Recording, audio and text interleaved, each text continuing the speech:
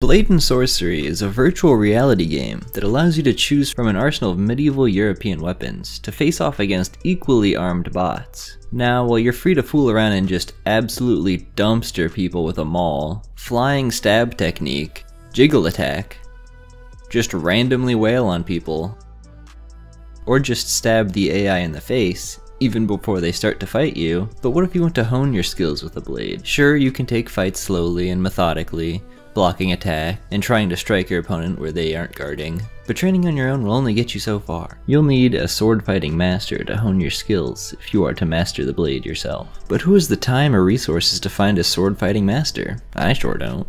But I do have the next best thing. The Book of Five Rings. What is the Book of Five Rings, you may be asking? Gather around, children. I'm going to tell you the story of Miyamoto Musashi. Born in 1584, and winning his first duel at the age of 13 against a samurai, and long story short, lived his life as a traveling ronin, fighting in battles and duels throughout the land.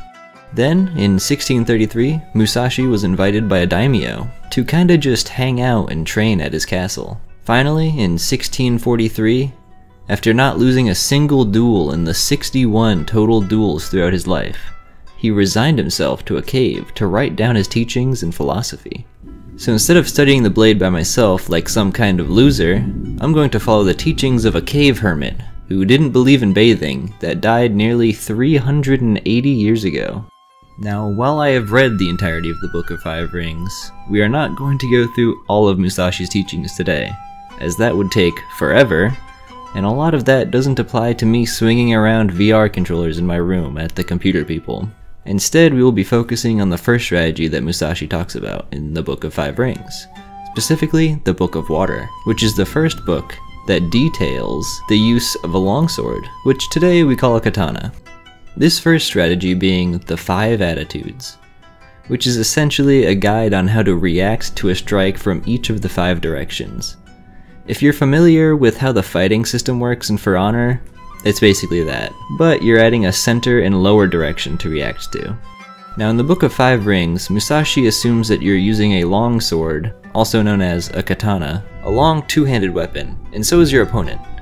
But in Blade and Sorcery, the AI only spawns in with one-handed weapons, and even if you disarm them and make them pick up a two-handed sword, they use it one-handed. So we're going to just have to treat this like they're using a two-handed sword. Also, the AI only attacks from either top, left, and right side. So, we're back to the three directions of For Honor. With the first attitude being middle attitude, we're off to a great start. Musashi says if an enemy attacks from the center, dash their sword down into the right, and slash their arms from below as they try to bring their sword back up. I can't practice this since the AI doesn't attack from the center, but it would look something like this. Second is the upper attitude. When an enemy attacks by striking from above, while they have their arms up, the rest of their body is open, so just hit them. And if they evade that, they'll have to put their arms down eventually, so just slash their arms from below whenever they try to bring them down. You must train repetitively. This is a bit different from what I normally do when they attack from above. Usually I block and then riposte, but Musashi says to just attack before they bring their sword down, which I find to be harder, as the AI very quickly slashes down with their one-handed weapons, since it's easier to just block than move forward and strike before they bring their sword down. But striking while their arms up is still doable, and you don't run the risk of the enemy overpowering you if they're stronger than you. The third attitude, lower, isn't in Blade and Sorcery either, but if you are already ready to attack from the lower attitude, hit his hands from below, somehow. If they try to hit your sword down while you're doing this, while their arms are down, slash across their upper arms horizontally. This both sounds confusing and not possible, as he says to hit their hands from below while they're attacking from below, so their arms are already down, and you have to get under them still.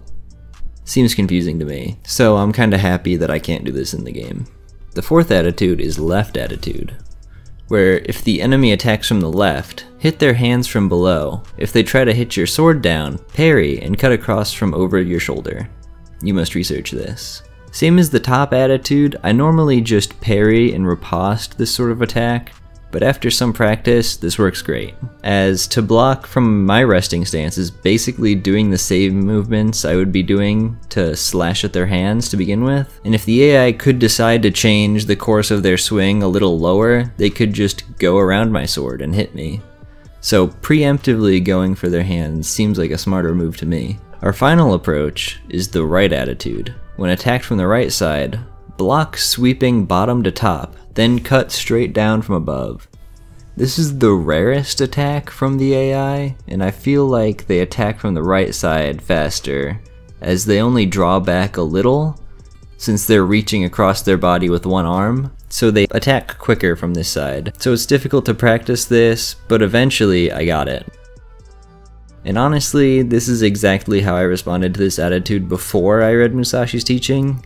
It just doesn't happen often and is hard to get proficient at. Final paragraph for the five approaches section is, this method is essential for knowing the way of the longsword well.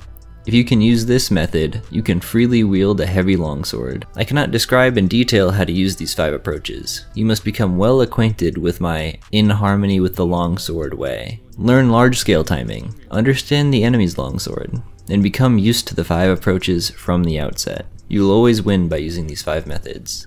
With various timing considerations, discerning the enemy spirit, you must consider all this carefully. You'll have noticed I put up the direct quote from the book for all the five approaches. Some of the wording is weird, and I may have misinterpreted them, but this is the first of many strategies Musashi talks about. So in my mind, these are the most basic of strategies to really hone in as a beginner as they are just reactions to attacks from different directions with no other considerations at play, which he gets into later in the Water Book and the Fire Book, along with touching on and defending his school from teachings of other schools in the Wind Book.